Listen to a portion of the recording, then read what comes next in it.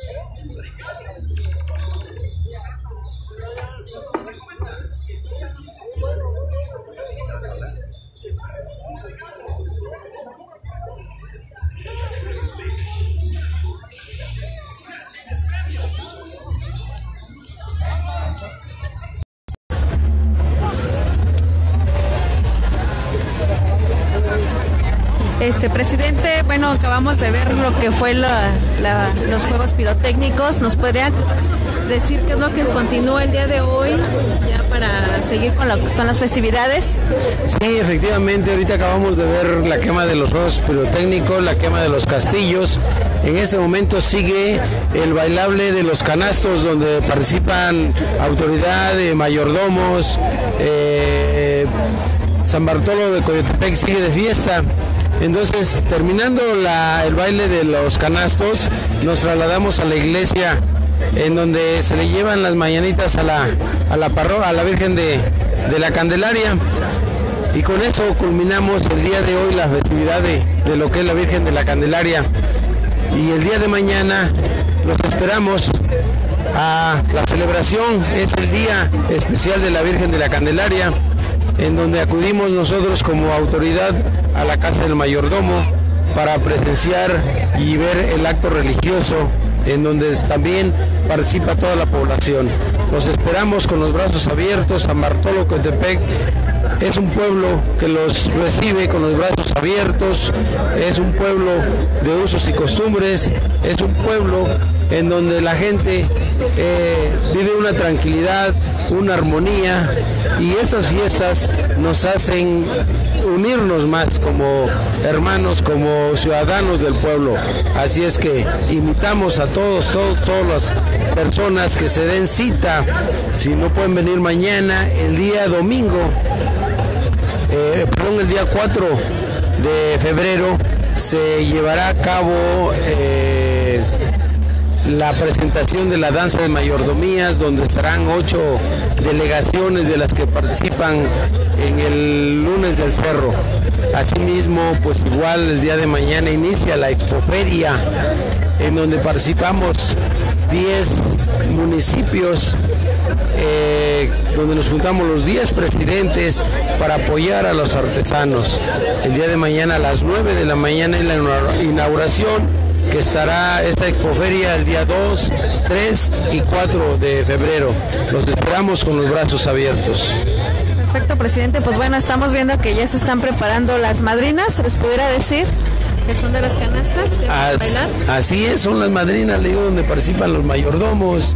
Eh, es una fiesta que de veras da mucho gusto y, me siento contento con todas las personas que nos acompañan, que nos visitan, porque aquí no distinguimos, aquí visitantes, ciudadanos, hacemos la convivencia.